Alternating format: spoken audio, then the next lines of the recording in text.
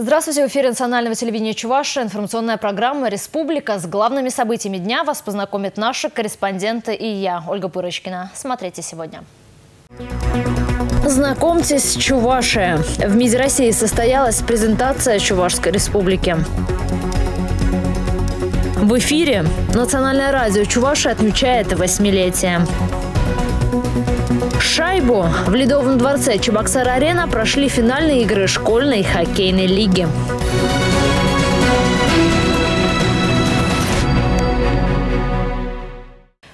Министерстве иностранных дел России прошла презентация Чувашской республики. Познакомиться с одним из субъектов Федерации, который находится совсем недалеко от столицы, пришли представители более 90 иностранных дипломатических миссий, компаний, работающих в нашей стране. Чуваша – интересный и перспективный партнер. Такой вывод сделали они после посещения выставки и предметного знакомства. Подробнее в нашем сюжете. Особняк Министерства иностранных дел на Спиридоновке для регионов России – своеобразное окно в Европу, Азию, Африку. Презентация Чувашии собрала большое количество представителей дипломатического корпуса из разных стран. И многие пришли не просто познакомиться, но и определить дальнейшее направление сотрудничества. Представляя зарубежным коллегам Чувашию, министр иностранных дел Сергей Лавров охарактеризовал ее как один из наиболее динамичных регионов России. Республика энергично диверсифицирует экономику, открывает новые предприятия, Среди основных отраслей – химическая, электротехническая индустрия, машиностроение, металлообработка. Важное место занимает сельское хозяйство, легкая промышленность, производство транспортных средств и оборудования. Поступательно развивается социальная сфера, в первую очередь здравоохранение и внутренний туризм. Глава республики Михаил Игнатьев подчеркнул, Чувашия открыта для сотрудничества. Ваше внимание к вопросам межрегионального сотрудничества Высокая оценка роли субъектов страны в развитии интеграционных процессов в международном пространстве заслуживает отдельных слов благодарности. В настоящее время партнерами региона являются 92 страны, и это далеко не предел. Скорее всего, уже в ближайшее время список пополнится. Очень интересно, да, очень интересно. Уровень а, развития а, промышленности, науки, да, который у вас есть в вашей республике. Я не ожидал, что вот э, до такого уровня и уровень а, производства продуктов питания. Я а, получил очень полностью э, полезную информацию у вашего клуба представителя, э, государства представителя, поэтому я изучаю внимательно с нашими бизнесменами. Особняк приемов вместил и выставку ведущих музеев Чувашии. Картины, аутентичные костюмы вызвали большой интерес и восхищение зрителей. Ознакомительная экспозиция была посвящена знаменитым землякам, предприятиям, организациям республики. Те из них, кто давно работает в Чувашии, поделились своим опытом. Чувашия является, на мой взгляд, оптимальным местом для реализации производственных мощностей в Российской Федерации, учитывая географическое расположение, инфраструктурные ресурсы, высокий уровень кадровой подготовки сотрудников, а также очень адекватное отношение администрации республики к потенциальным инвесторам. Всего презентацию посетили представители более 90 дипломатических миссий. По сравнению с аналогичным мероприятием 2008 года их количество увеличилось в полтора раза. Елена Гальперина, Андрей Спиридонов, Москва, Республика. 231 миллион рублей. Такова сумма общей задолженности арендаторов перед столичной администрацией по состоянию на апрель этого года.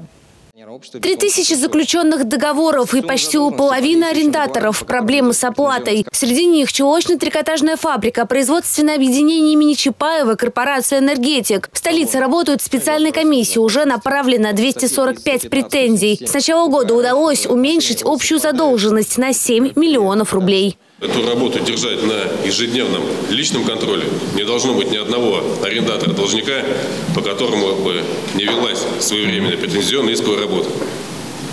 Хорошо. Не должно быть ни одного арендатора-должника, с кем бы не проводила своевременная работа судебными приставами. Особая ситуация сложилась в коммунальных технологиях. Предприятие накопило долги на сумму более 1 миллиарда рублей. Из них 850 миллионов за газ. Столичная администрация вынуждена принимать нелегкие для себя решения. И сегодня у нас сложное положение. Мы вынуждены подписывать договор о субсидарной ответственности по оплате за газ с межрегион газом по городу Чебоксары.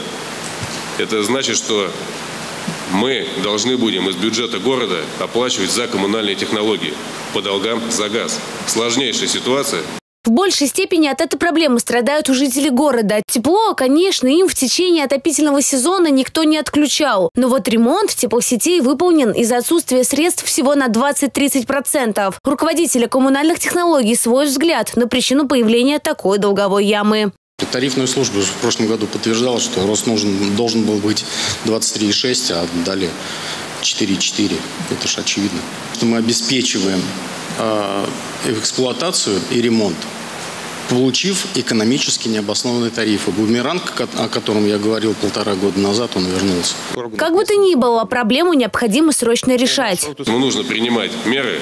Я прошу Георгия Геннадьевича и Юрия Александровича рассмотреть вопрос, который мы уже обсуждали, о продаже права аренды с коммунальными технологиями на имущественный комплекс. То есть вполне возможно, что все обязательства по обслуживанию теплосетей могут перейти от коммунальных технологий к другой организации. Татьяна Леонтьева, Игорь Зверев, Республика. Администрация главы Чувашской республики отстояла свою позицию. В апелляционном суде города Владимир поставили точку в затянувшемся процессе, который инициировало интернет-издание «Правда ПФО».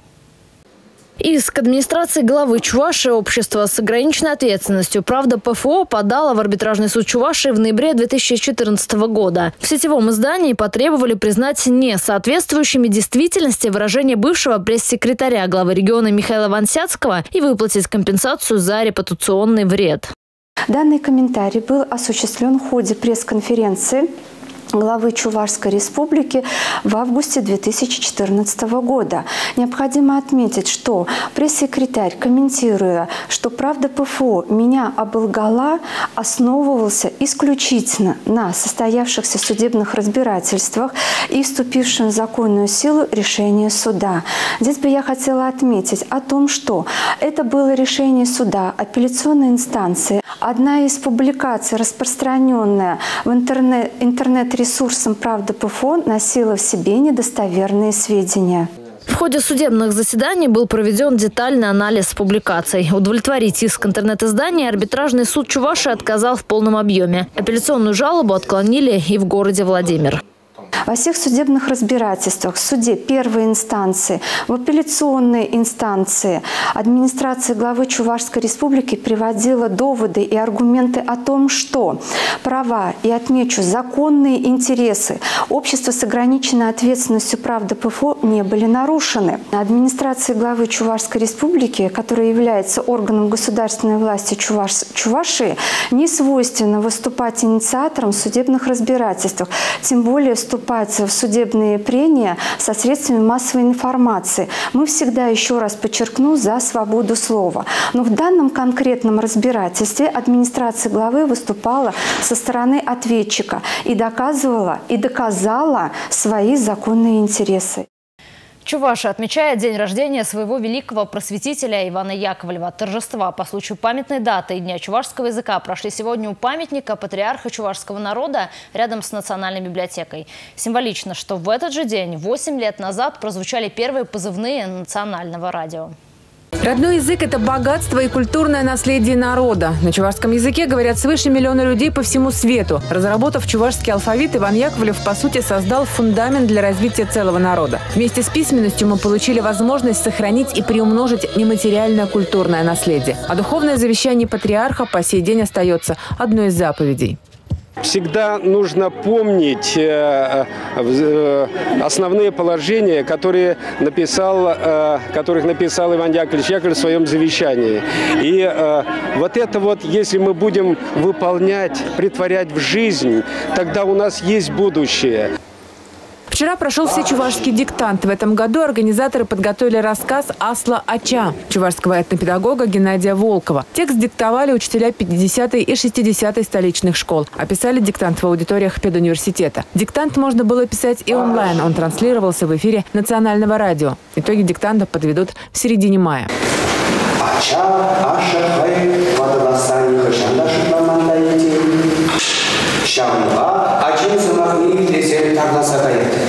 Сегодня в День чувашского языка наши коллеги по цеху принимают поздравления от радиослушателей, партнеров, учредителей, тех, кто стоял у истоков создания радиостанции. На сегодняшний день мы можем гордиться тем, что Национальное радио Чувашии «Чувашень» – единственная в республике радиостанция общего формата, производящая все виды радиопродукции. Это и информационные, общественно-политические, музыкальные, литературно-драматические, научно-познавательные, детские и развлекательные программы. В эфир ежемесячно выходит около 60 оригинальных передач. Половина из них в прямом эфире. Вещание на национальном радио ведется круглосуточно. 75% программ на родном языке. В течение всего дня в эфире национального радио Чуваши звучали поздравления от слушателей, а ведущие в прямой трансляции общались с гостями студии и вместе вспоминали первые дни вещания, смешные случаи и говорили о планах на будущее. Татьяна Молокова, Республика. Все как у взрослых. В столице Чувашии состоялись финальные матчи школьной хоккейной лиги. В этом году в стартовом сезоне приняли участие около 350 спортсменов-непрофессионалов из 24 образовательных учреждений. Шанс показать свои силы в финале школьной лиги выпал только четырем командам. За третье место клюшки скрестили команды школы номер 2 «Тигр» и школа номер 62 «Буран». Первая шайба влетела в ворота «Бурана» уже на третьей минуте. Ответный гол команда смогла забить не сразу. Болельщикам пришлось сильно понервничать. За 15 секунд до окончания первого периода «Тигры» забили второй гол. Эмоции просто зашкаливали.